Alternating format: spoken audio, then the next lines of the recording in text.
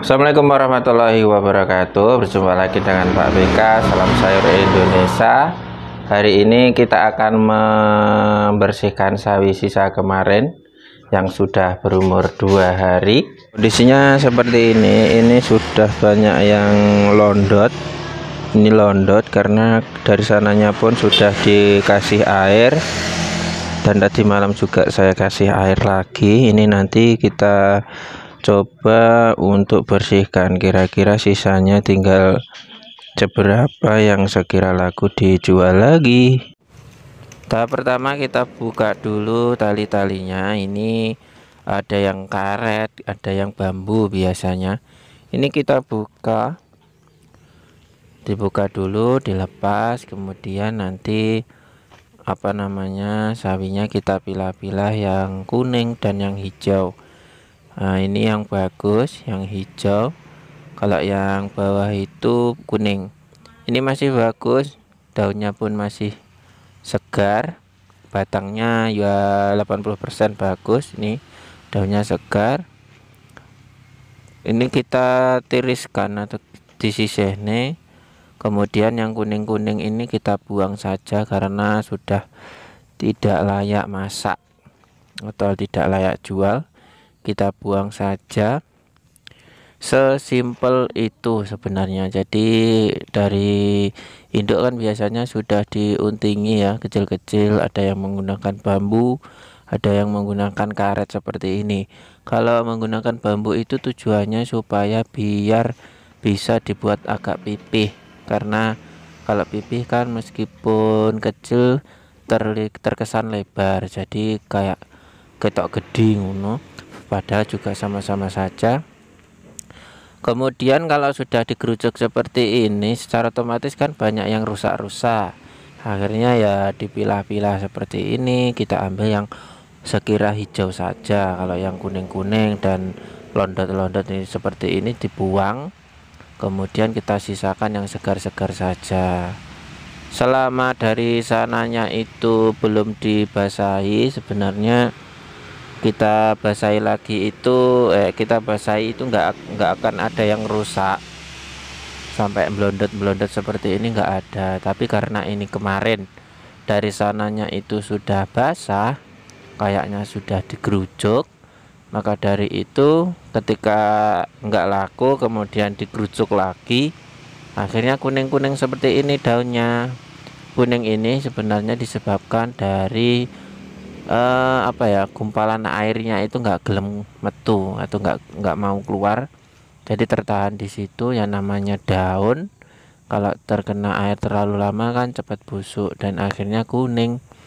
Kalau proses pembasahannya itu airnya benar-benar tiris atau bisa dibilang cukup basah saja enggak sampai menyimpan air itu bisa tetap segar karena terkena air kemudian terkena udara dingin itu bisa membuat dedaunan itu segar nggak sampai rusak. Ya kurang lebih itu sangat simpel sekali. Setelah selesai yang bagus-bagus kan sudah terkumpul. Kemudian kita kembalikan untuk diunting lagi. Kalau ngunting ya secukupnya dikira-kira sama seperti sebelumnya atau mau dibuat harga sendiri juga nggak apa-apa. Kalau tadi kan seribuan ini dibuat harga mungkin 1500 atau 5003 toh ini sudah hitungannya ya ya untung nggak untung. Karena yang bagus cuma ini yang lain kan sudah jelas nanti kita buang. Ini diunting sesuai keinginan yang rapi. Sebenarnya kalau yang asli tukang unting itu nguntingnya bisa pipih daunnya bisa gepeng enggak enggak berantakan seperti ini. Jadi bisa rapi jadi orang beli itu bisa terkesan besar terus marem. Kalau ini ya asal-asalan untung saja karena ya tinggal sisa yang lain banyak yang dibuang tinggal ini ya nggak apa-apa. Yang penting tetap uh, bisa dijual lagi dan uh, terlihat rapi bersih terus segar. Ini cuma menjadi tiga unteng padahal tadi dari dua dari dua tali yaitu 12 unting menjadi tiga unting ini ya kita bisa lihat kondisinya segar sekali bagus karena ya yang lain sudah dibuang untuk pangkalnya bisa dikepas bagi yang hitam-hitam itu enggak juga enggak apa-apa selama enggak rusak atau enggak londot. Sisanya tadi seperti ini sebanyak ini oke. Okay. ini yang busuk ini nanti kita buang saja.